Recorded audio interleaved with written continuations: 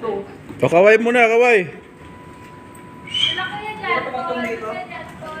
Ay, dito pwede yun. Pwede yun.